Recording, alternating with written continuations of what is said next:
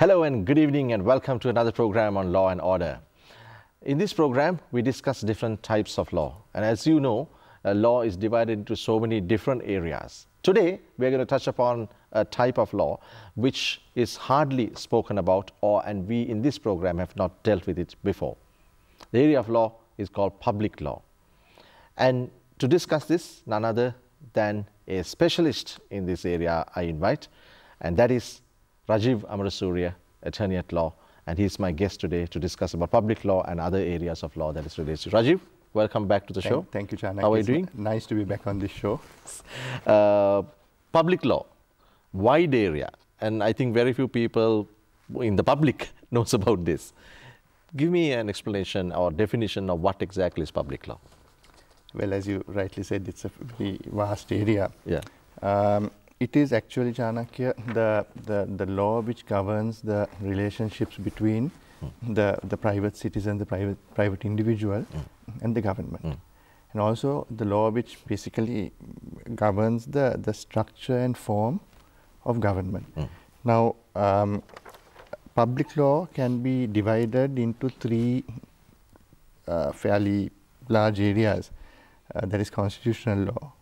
Uh, as, as, as you know, that, that is the law which deal with, deals with the legislature, Yeah. the judiciary, uh, and the executive, and, and the interrelation between those three organs of government. Then criminal law. I mean, I don't need to explain what criminal law is. We all know what criminal law is. And also the third third area, administrative law, which I am actually more involved with. Uh, administrative law deals with again the the relationships between the citizen and agencies, the executive branch of government. Uh, to, to, to simply put it, that would mean now, uh, even on a day-to-day basis, we as citizens, we have relationships with our government, we have with our local authority, they have to collect garbage. I mean, we have even even from corporate level, you know, you have licensing. So all those are areas which come within the purview of administrative law. And, and writ applications, which we'll be looking at, I think, later on, uh, comes within the sphere of administrative law. So that, that, that, so that is how public law uh, uh, is basically these areas come within the realm of public law. Uh-huh. So now, uh, does public law, law has a, has a part in all the, the areas of law? Is, is it like a like uh, connected in some way or the other, isn't it? Uh, to some extent, yes, because, because I mean, all these, I mean, ultimately, it's the, the same fundamental principles which drive all areas of law. Correct. These are now over, over years, these is little uh, sub sub areas have, have, have, have formed. Formed. Uh, but I, I, I would say yes, it, there are interrelationships between between other areas as well. Right. Now, the uh, public law in this country, uh, where this is, uh, where did this uh, emanate from? We, uh, is it a mixture of the Roman Dutch law and the British law? It, Or it's, it's mostly uh, from English law, English I, law. I would say, because now uh, the re- we, we, uh, public law has, uh, apart from the three areas I spoke about, also within the administrative sphere, we have the fundamental rights jurisdiction. We have we have discussed this at a, on a-. On a, on a yeah. previous program. Um, now the writ law emanates mostly from or derives Hmm. its its its source from English law. Um, it was actually uh, the uh, we had you had something called prerogative remedies in England. That was where that this is this is before the 16th century where where there were state bodies which were exercising power, and the the the, the, the monarch when he whenever he or she he she wished sought intervention of court through prerogative remedies to ensure that those public bodies, public authorities, public officials worked within the framework. Right. Now, the, the, the various the, the parameters of their authority. Yes. So that, then that can be said as the intention of public law. so, can so we say that? th- certainly, yeah.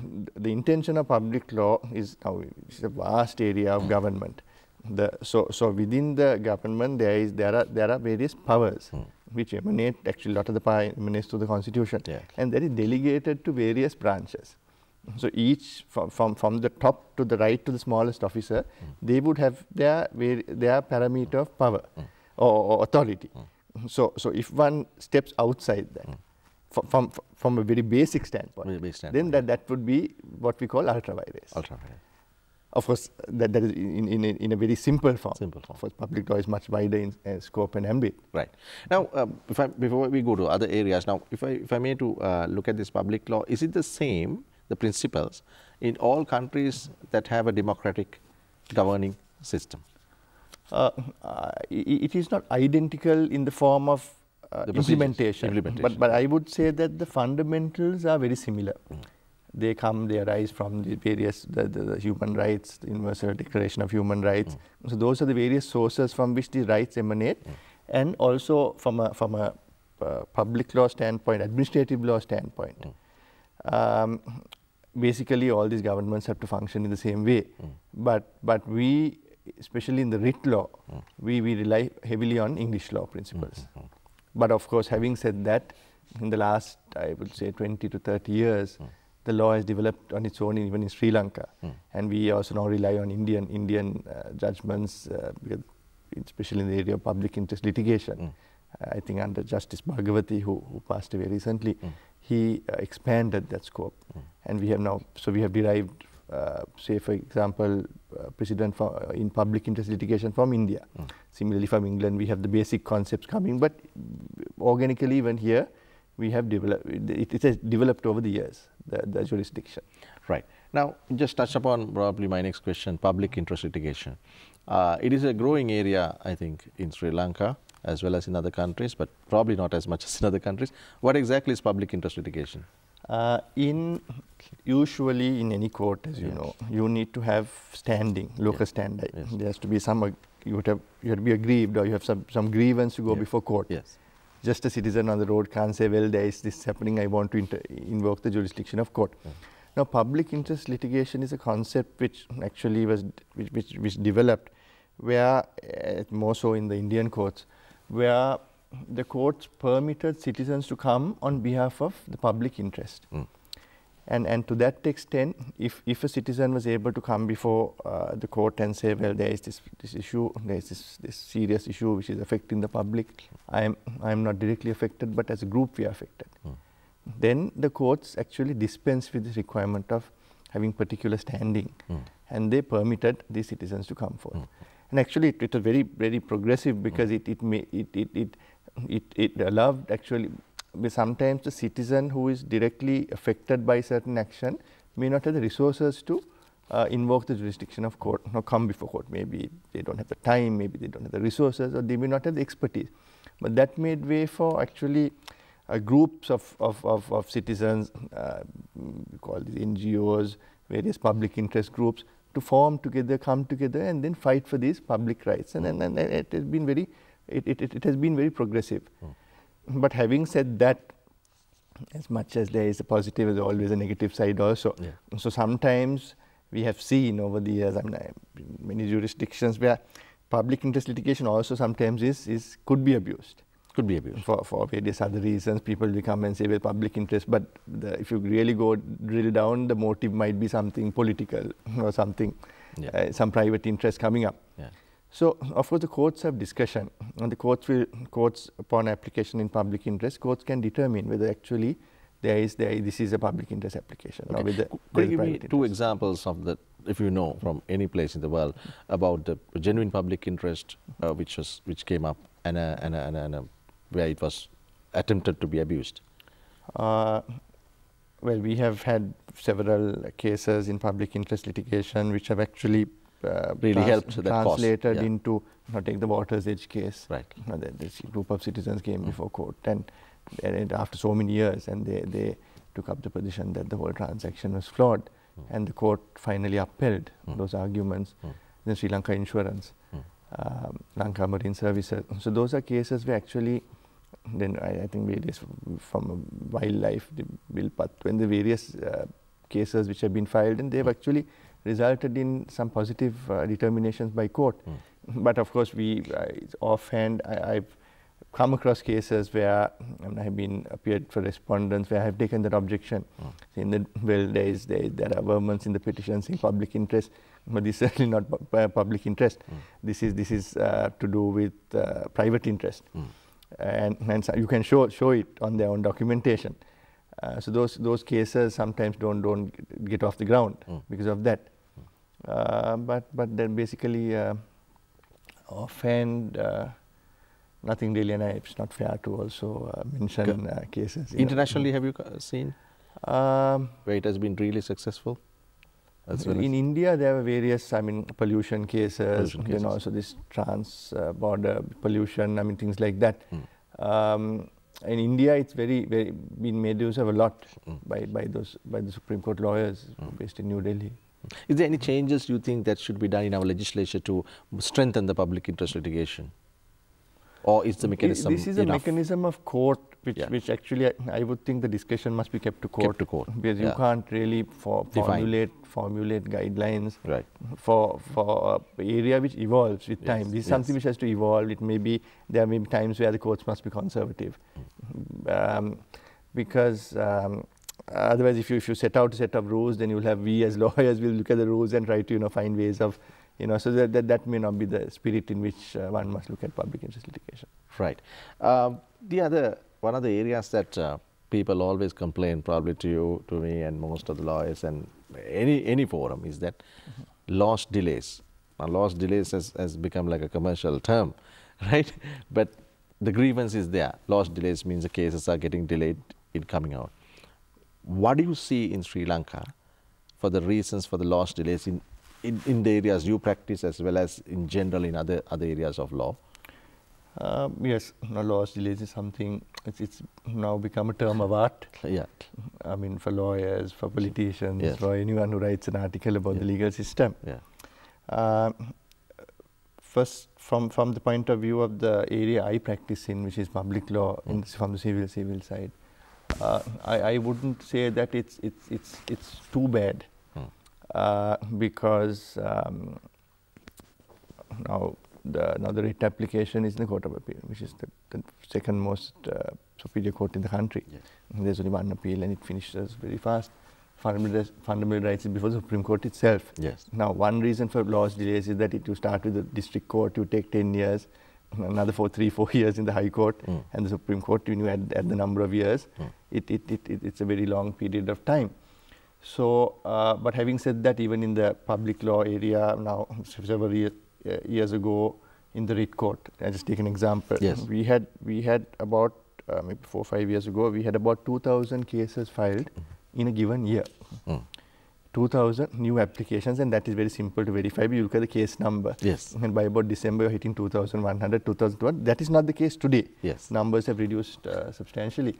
Um, so you, and you have two courts looking at writ applications. So, so physically, and you have probably about 200 days in the year. Yeah. So if you have 2,000 cases, two courts, and just 200 days uh, on, on basic simple arithmetic, it is it is not difficult to it, it, it is not it is not practical Mm. to, to to conclude. Yes.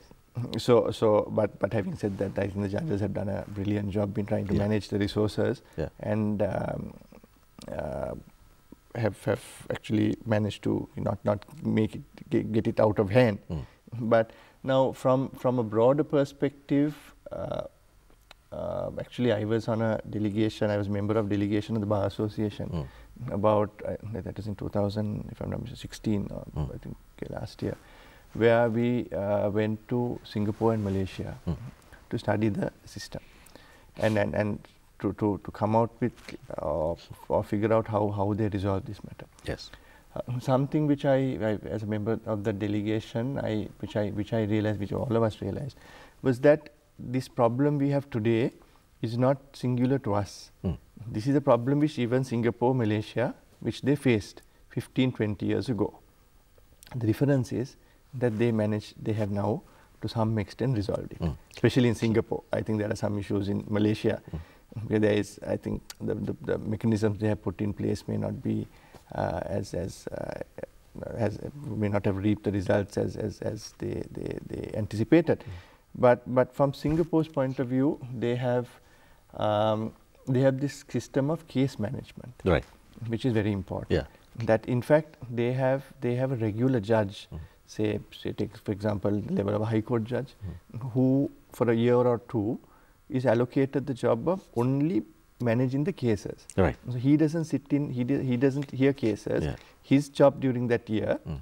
or two would be to, to basically do the job of what the registrar does Yeah. in Sri Lanka. Yeah. And also there is, the, before the case, there is case management where you actually meet. Now, now, for example, in Sri Lanka, we meet the opposing counsel in court Yes. and we, we go Yeah. we- we- uh, at the bar table. But here you would meet your opposing counsel before. You would dis- both, both parties would discuss as to how long the case would take, how many how many hours you need, uh, what is the documentation, and, and also fix the the date of the case uh, mutually. So, so and, and, you would have they would have a plan. Uh, the plan of or the time plan would be pre preset. Right. So which means that then, uh, so then, then when the court has to allocate other cases, they know well it will take two hours or three hours on that uh, for this case. Then the next case will be fixed thereafter. And also once you fix the case, it's very difficult to postpone. Yes. You can't come and say you are not ready. You have to be ready. You have to be ready. Yeah. So, so basically that that aspect of case management. Yeah. No, there the lawyers also get to know that this is the time allocated and they get to know in advance, right? Yes, and, and, and it's, So it's, it's mutually yeah, discussed. mutually you say, well, I discussed, need yeah. 45 minutes, I need one hour. Yeah. I mean, you can't say I need two days. Yes. I mean, of course, depending on the matter. Yeah. So then, then there's and there's the judge who will who will, who will basically it's more like arbitration. Yeah. They will discuss and have an agreement. Yeah. I need so much. You will need so much. These are the documents we will present, and these are the date on which we will take it up. Mm. So that way, there is also from the point of view of the lawyers, uh, Chanakya, sometimes, you know, uh, you would know. Sometimes we start. I mean. The litigants might say, well, the lawyers are delaying cases. Mm. That, that is not the case. Yes. We actually know when we go for a matter Yeah. and the matter gets postponed, Yes. we have spent the whole day before, evening before that studying that case. Exactly. And we have uh, burned the midnight oil, Yes. gone through, then you go through, and then if the matter is not taken yeah, up, but the blame directly comes from the client to the lawyer. that's the problem. Yes. So, and, and then and the lawyer has to then again study the same case three months down the line. Exactly. And then with your other work, I mean, it's not something which which which, which is at the top of your, I mean, uh, mind. So you have Yeah. to, to go through the papers again. Yes. So actually, if, if actually if a matter, and even from the point of view of the judges, when they will come prepared the night before Mm. Yeah. or the day, few days before, Yeah. and when the matter is not taken up, it's uh, it's a waste of time, Yeah. and then time spent on on preparation. Yes. So, so you you all did a study and you suggested Yes. recommendations. So we have submitted a report Mm. uh, to the Bar Association. Uh, this this delegation was led by the senior lawyer, Mr. Anand Vikramasekara, President's Counsel from Go, from the Yes. As member of it, and we, a very comprehensive proposal was submitted, and uh, I think the Bar Association is looking into it, Mm. and of course we have to have a common uh, effort from the judiciary, from the lawyers ourselves, and also from the from the state to support some some kind of development. Hmm Right now, uh, but if you if you look at present day, I know there are um, the provincial high courts, uh, provincial civil civil appellate courts came up, and that reduced a lot of work, and it, it was fast tracked in in that area of law. Correct me if I'm wrong. And uh, but still, people are complaining on that. Now, despite making these recommendations uh, to the necessary authorities, what is still making uh, a case take so long? especially if, if I may add to this, if you look at the immediate regions, like if you look at uh, not so, uh, in Colombo at least, if you look at the district court, there are several district courts, and there are other places in, in the country where one particular district court or two has to handle all areas of things.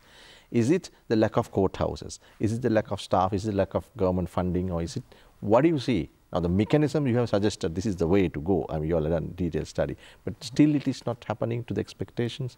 Well, you can. I think there is some proposal. In, there's a proposal in the constitution to increase the number of judges and all that. Well, you can do that, but I think substantively we need to improve the, the quality of the entire system. Mm. The lawyers, the judges, the court staff. I mean, Yeah. we must be more result driven, result Right. oriented. Uh-huh. Uh, When a result driven, what, what, what no, do you mean? because now even I've, uh, uh, even in all these spheres, I mean, it must be a merit-based system. I mean, you must have performance. There is, I mean, you must have performance evaluation. Now, now, for example, uh, a judgment. If a judgment of the district court, I'm not trying to find fault with anyone, but if a judgment of the district court after 10 years, and if the judgment is overturned twice over in the High Court and the court, uh, Supreme Court, I mean, obviously that that should not happen. I mean, we should have situations where now the whole problem is now the Supreme Court sometimes a lot of applications come up in appeal, lot of matters. Yeah. But ideally, we should have a situation where the district court or at least the high court, at the high court level, the matter ends. The parties must accept that judgment. And then if that happens, the number of cases will reduce. Mm. So, so we need to have. Um, um, But what can you do if the if your client still says no, I am not accepting this judgment? I mean, isn't it beyond lawyers and judges? Well, um, How fair the judgment is? yes. Yeah. Uh, of course, of course the, court, the, the Supreme Court on the in, in the appeal, the third Yeah. appeal, uh, or second appeal, Yeah. as it, it's not as of right. Mm. So they have the discussion of refusing, and that is what that is what takes place. Takes place Uh, sometimes it's very clear judgment, but and also I think the courts also must take the position that when these frivolous applications are filed, Right. you must you must order heavy costs. Mm. So so that should be a deterrent. Deterrent, If someone is going before an appeal, Yeah. you must have at least a 50% chance Yes. or, or even a 40% chance, chance of success.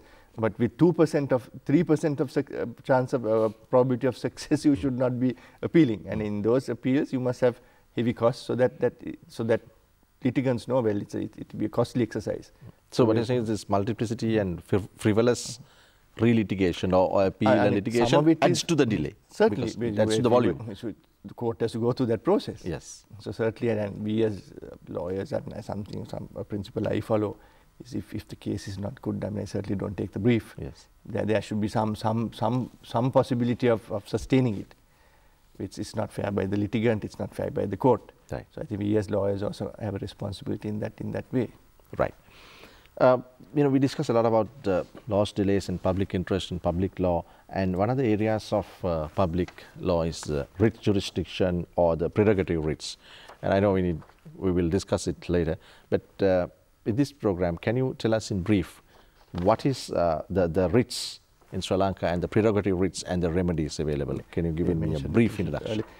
The prerogative remedy was the remedy available to the, the Crown Mm. in England to invoke the jurisdiction of court Mm. to ensure that um, inferior tribunals Mm. and public officers, authorities worked within the parameter of Mm. their authority. Right. After about the 16th century, this, this, this right or the, the, the remedy was, was made open to citizens Yes. to invoke the jurisdiction of the, uh, the King's Bench Yeah. division of court in the name of the crown. Mm. So this is where this this this, this the writ remedy actually de- derived, derived the, the source of it. Mm. Uh, in Sri Lanka, it comes under Article 140 of the Mm. Constitution, which specifically provides that um, the Court of Appeal shall have jurisdiction to examine the records of Mm. inferior tribunals and other th- agencies of agencies of uh, state, and then call for their the, the record and then determine uh, whether whether they are within the framework. They can issue several types of writs, uh, writs of certiorari. Uh, then, you, of course, mandamus, you can compel public authorities to Mhm. perform their public uh, responsibilities. Uh, prohibition, uh, uh, quo so on and so forth. Mm. So, and also uh, with the Provincial Council, uh, the, the 13th Amendment, Part of it, the, the, the powers which comes within the Provincial Council list Mm. was, um, uh, or, or it, there, there was provision made Mm. to bring that that th- that area within the provincial high court. So if someone has, is aggrieved Mm. by a matter coming within the provincial council list, Mm. then the, the litigant can go before the provincial high court and, and seek seek seek uh, the writ remedy. Okay. And these remedies are taken against action of the state. Yes, uh, mostly it is a state, Yeah. but the the there is this the Lord Atkin's formula, which which in the 1920s, which has Mm. now developed. Um, it is it is action of those who who um, control or, or have who, who make decisions affecting the rights of citizens Mm. and in, uh, who are in control control positions. Mm. So sometimes if you, it may not be directly a state institution, Mm. but you might have like say a stock exchange making a decision. There are judgments where the writ application has been invoked. Then you have private banks with parate execution rights Yes. uh, the, the court has court intervenes. Uh, so th- there are instances, sports bodies, which have controlling power over over, over its uh, uh, the the people it controls. Right. Then the court has invoked. So, so it's a little wider than the state also sometimes. Okay. Now, this topic is a vast topic, writ jurisdiction, and we're going to discuss this in detail, Rajeev, in our next program. So you stay tuned for our next program where we're going to bring back Rajeev and we're going to discuss more detail, deep into the subject of writ jurisdiction, prerogative writs and remedies available on that. But for law and order for today, that's it. Rajeev, thank you for joining us and for those valuable thoughts. And we'll uh, join you next week at the same time. In the meantime, you can go to our Facebook page. That's Facebook slash Law and Order Channel Eye, Facebook slash Law and Order Channel Eye, and post your comments or queries, and uh, we will take them into consideration. Enjoy the rest of the programming on Channel Eye, and have a good weekend.